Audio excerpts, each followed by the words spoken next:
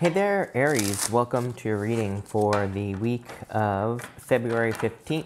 Uh, this week, we are just going to jump right in here, Aries, and we are going to take a look at your current energies with this main spread, and then we are going to clarify at the end with the little tarot here, and we're going to take a look at uh, what else will come up for you here, Aries, but this is already like a really nice reading. You have this Delight card and this uh, Peacock card, which says Let It Shine. So I feel like you are kind of shining bright here. Something stands on its own here uh, for you, Aries. Did I say Libra? I feel like I keep doing that to you, Aries. I don't know why I want to keep doing that, but Aries. I, this is something that stands on its own, I feel, and this could be a uh, some sort of um, you know, business idea. This could be something you're working on. It looks like a creative project. For others of you, it's very clearly love with the Two of Cups here. And what I mean by stands on its own is it's like just, there's just equal give and take in this connection, Aries. So again, if you're looking for love or if you already have love, I would say this is a very solid connection with the Two of Cups. Something is changing in this connection, but it would be probably a new beginning with the Ace of Wands. Um, even if things are fine in your relationship, you know, there's always room for improvements. There's always room to kind of try new things or, you know, spice things up, whatever you want to call it here, Aries. So I, I, this is you kind of like spicing things up here. Uh, you start off with this delight card here, and this is just like a card of feeling good, things going well, and you are delighted. You have the Six of Cups here. It's like you're releasing a burden in this first row here. So this to me is you, is like things kind of lightening up for you, Aries. I feel like things are just improving or getting easier. So there's some sort of improvement going on here. I need more detail on that. Yeah, you have this courage card as well, probably because you've st uh, stood up for yourself here, Aries, in a situation. I do get like a weird relationship situation where it's like maybe, maybe like again, there's probably nothing wrong we all have challenges in relationships and things like that. We all have been in relationships that are fine, but maybe there's something that requires you to stand up. Maybe there's something you like. And, and, I kind of feel that maybe you're just stopping something before it goes any farther, right? And, you know, I think that's a common problem as well in relationships where it's like one person or the other starts doing th- something and then it like gets worse and worse and worse because nobody ever says anything. And you know it's like i get this feeling of you standing up to something here maybe in a relationship. For some of you you could be you know standing up to a person leaving a relationship but you know regardless of the direction you're heading towards two of cups.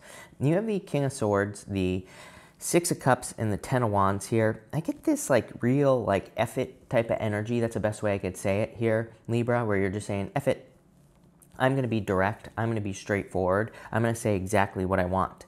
This is just going to lead to happiness for you here, Aries. Did I say Libra again? I don't know. Sorry, Aries. I don't know what is wrong with me uh, right now.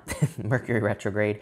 Uh, this is like the third time I've done this. But anyway, Aries, I think that this is you standing up for yourself, being very direct, being very straightforward, and I feel like you're telling people exactly what you want. You're releasing burdens because of this. You're releasing things that have caused problems in your life with this Ten of Wands. I feel this guy here is kind of like putting things down one by one. What, uh, what I think that message is saying is that that these are in different areas of your life that you're releasing a burden. I feel like you do it maybe once or twice and it feels good and you're like, I'm going to do this everywhere else. So it's like maybe you're experiencing burdens in your family, and maybe you're kind of doing things like setting boundaries or just telling people you're not going to do things for them anymore. And this is not like a greedy thing that you're doing here, Aries. It's just like maybe there are people who take advantage of you. Maybe there are people who are asking too much of you. And maybe you're just saying, you know what, I have other things that I need to do, I have other responsibilities.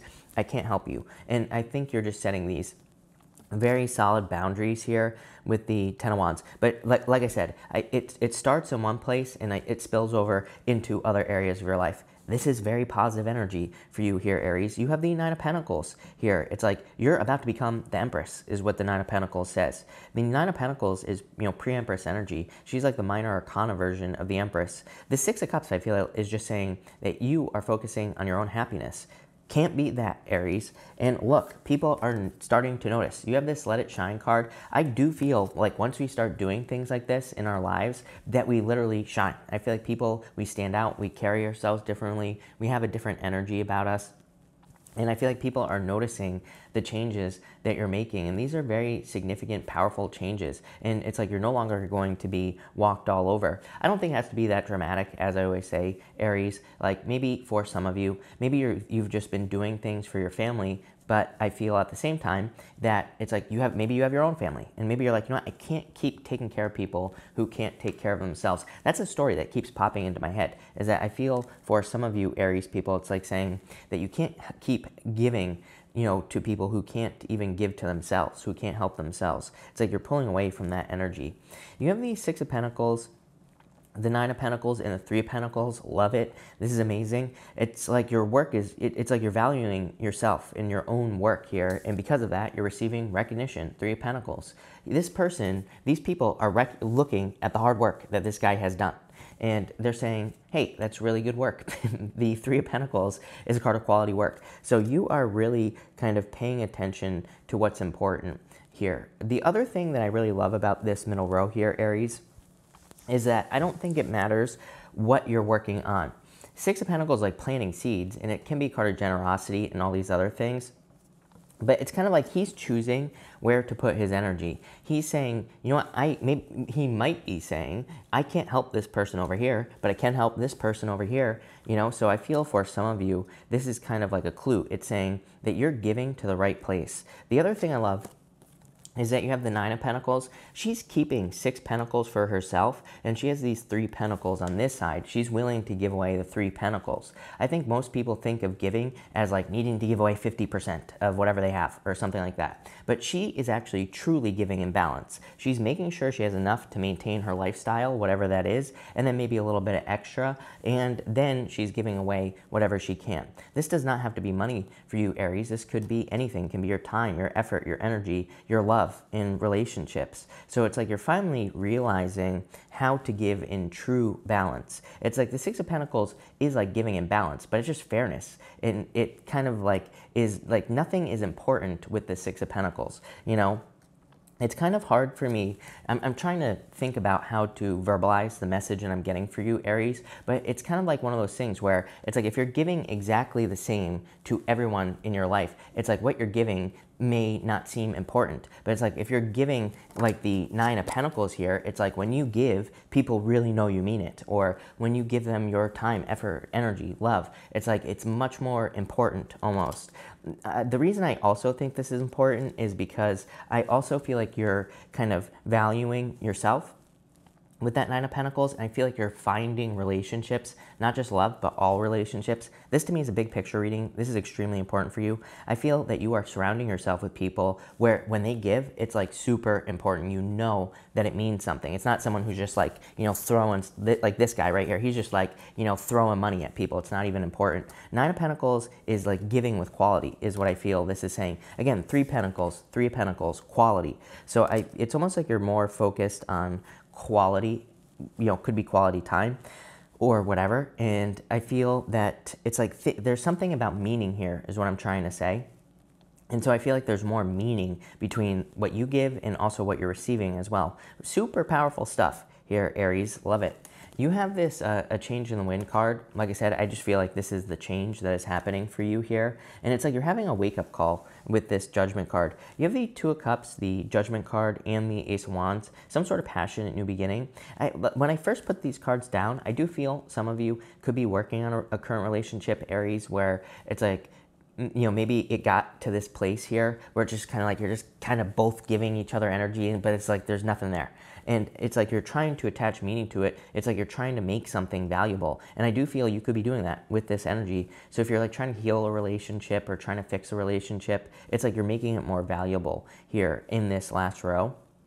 For some of you, I feel like this could be new love coming in for you. Judgment to me can be love from the past, except when it comes up with a card like the Ace of Wands. The Ace of Wands to me is just, you know, too much new energy here. And it's kind of like that new excitement spark. It's more like the butterflies type of love, not necessarily like the I've been with this person for 20 years type of love, right?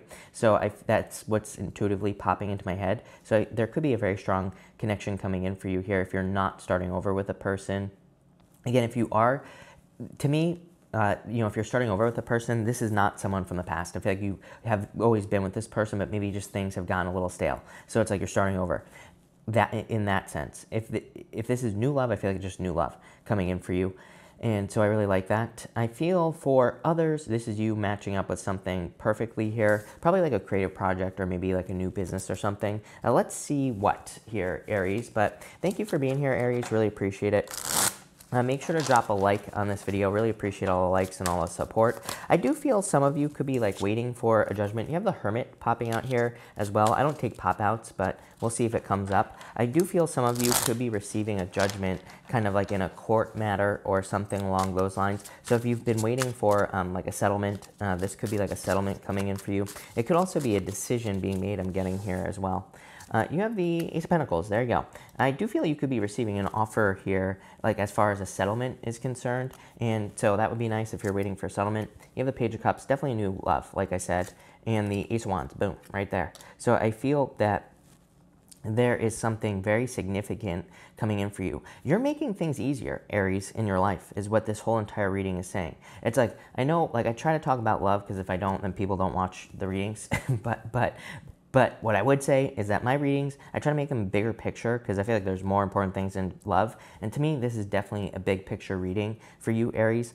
This is saying that you're making things easier in your life. You're going from the Ten of Wands to the Ace of Wands. It's like you're picking one thing to focus on. Maybe I said Libra at the beginning of this reading as well multiple times i feel like i don't know i could be going crazy but uh, I, I think because libra's reading was very similar to this but different. If you have Libra, Libra on your chart, I would definitely go watch that reading, Aries, because this to me is like saying you're focusing on things that are actually important. Ten of Wands, he's just busy for the sake of being busy. He's carrying those burdens and he doesn't need to. He could just throw those wands off. There's no reason for him to do that. Ace of Wands is like, I'm going to focus on this one thing here and going to Three of Pentacles, it's like you're saying, I'm going to build something of quality. I'm going to build something that matters. I'm going to build something that gets attention. It could be anything. It could be your body. You could be working on yourself. It could be you, it could be um, a business. It could be a job. It could be a YouTube channel. You know, it could be anything. It could be a relationship. It's like maybe you want a relationship that everybody talks about, right? And it's like you're really focused on building something of quality here,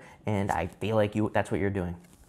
You have the devil here showing up, the magician and the nine of wands. I feel like you're setting boundaries with anyone in a new uh, situation, new love situation. Death card. I do feel this side story, we'll see what this is. King of wands. I feel like that's just your energy.